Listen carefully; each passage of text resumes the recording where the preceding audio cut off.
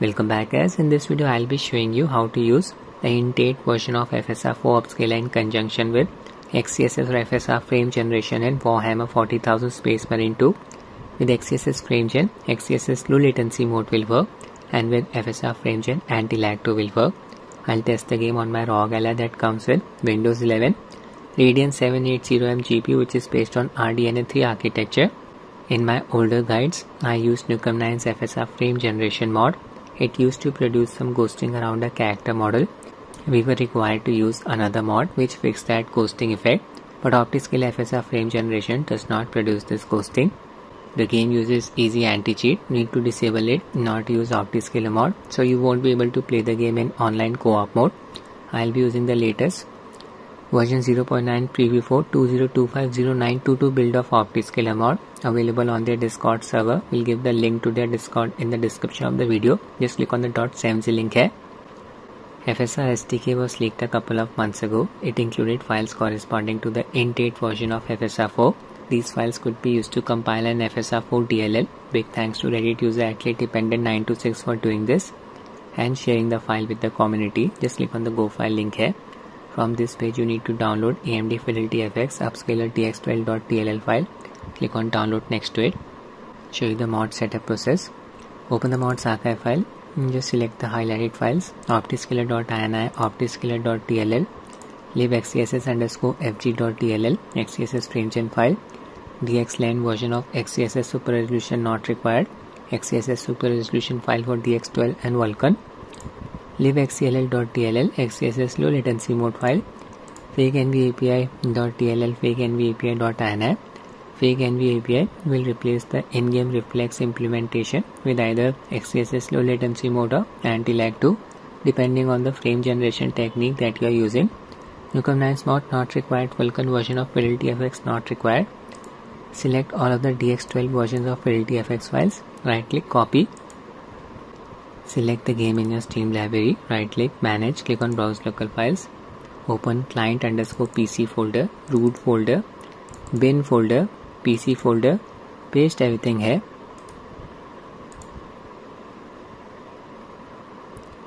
Replace. Now just change the name of optiscaler.dll file to dxgi.dll. Select the file, right click, rename, type dxgi now I'll be installing the Int 8 version of FSR4 upscaler. Just copy its AMD Fidelity FX upscaler dx12.dll file that you downloaded from Reddit.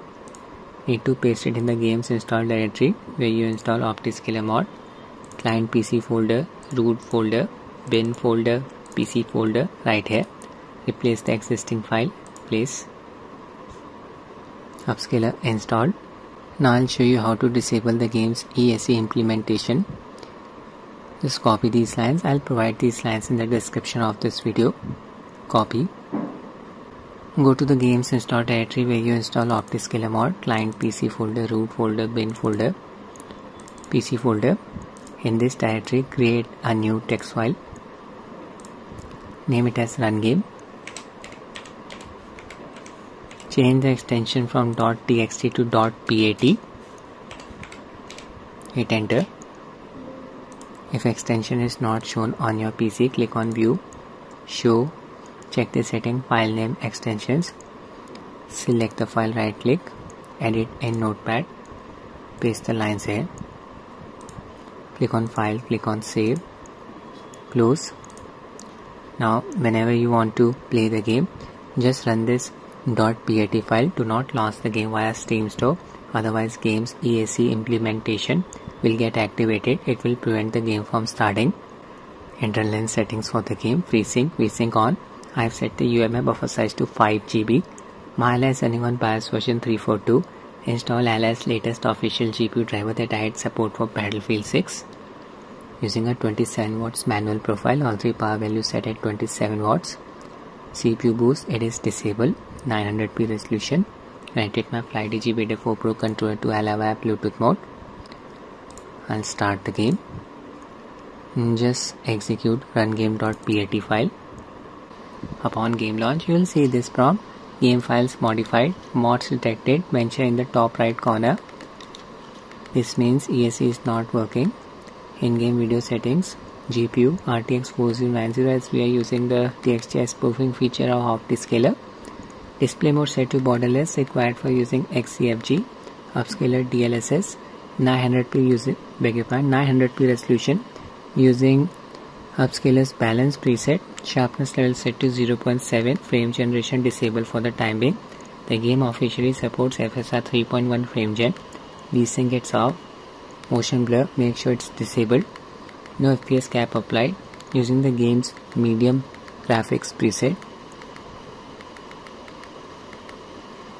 physics quality and background swarm size set to default cloth simulation medium jump into the game. Once the game loads up just press the insert keyboard key to open OptiScaler menu. I'll increase the menu size. Click on the drop down bar next to menu UI scale and set the value to 1.2 upscaler selected XeSS version 2.0.2 here we are getting around 40 fps input in-game DLSS upscaler TXT spoofing feature on auto explore setting on. Frame generation disabled for the time being. I'll just change the upscaler to FSR 4 click on the drop down bar next to change upscaler and select FSR 3.x as the option. Click on change upscaler again. Upscaler selected. INT8 version of FSR 4 model setting set to default. It automatically selected model 2 for me which corresponds to the in-game upscaler's balance preset which is correct base resolution 940 by 528 pixels upscale to 900p resolution. FPS dropped to around 40 roughly the same performance that we were getting using XeSS upscaler. I'll just enable OptiScaler's performance overlay expand FPS overlay section check this setting FPS overlay enable full plus graph scale 1.3 save and I close show you the base game performance playing as Lieutenant Titus my companions controlled by AI just engage in combat. Vermins surrounded by them use my flamethrower. It's a very demanding sequence. Here fps is within a range of 35 to 45 we are hitting the gpu bottleneck. Look at the image quality. It's looking so clean so sharp and no ghosting is produced around the character model.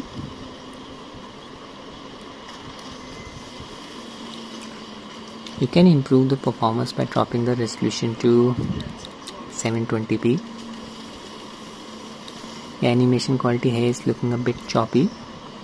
As expected we are outside LS VRR range that is 48 to 120 Hz okay now I'll show you how to enable FSR frame generation scaling costs around 5 milliseconds open OptiScaler menu click on the drop down bar next to FG source and select DLSS via Streamline as the option the game supports DLSS frame generation and Streamline version 2.7 so this option will work just fine we won't be required to deal with hotfix. Click on the drop down bar next to FG output and select FSR FG as the option. Click on save and close and restart the game. Launch the game again by executing rungame.bat file in the game's installed directory. After restarting the game, you need to enable the in-game frame generation setting apply.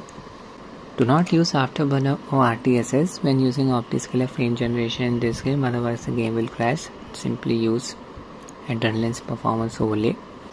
Once the game loads up just open OptiScaler menu, check the setting active under frame generation FSR FG allow async setting on. Okay I'll show you FSR frame gen debug view current streamline FG state on. Yeah no HUD elements are visible in the bottom middle image. Games HUD elements won't flicker with FSR frame gen on.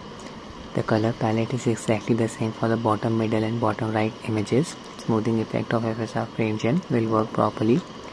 Displays are working properly for all of the images. Disable debug view I'll also enable anti-lag 2's latency monitor. Press its hotkey combo Alt Shift and L. Keep pressing the combo to cycle through the different display options. Real-time latency value.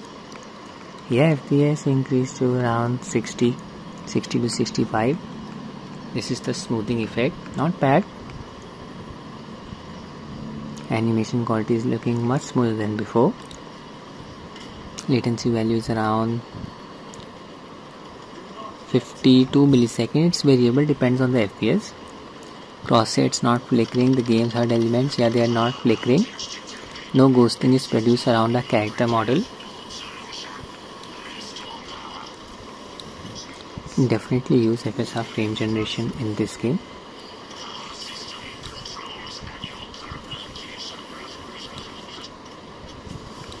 If you use Nukem's mod FSR frame generation, you will observe some ghosting around the character model.